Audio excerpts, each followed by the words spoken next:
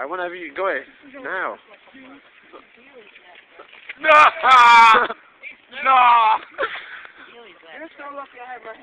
You got nuts!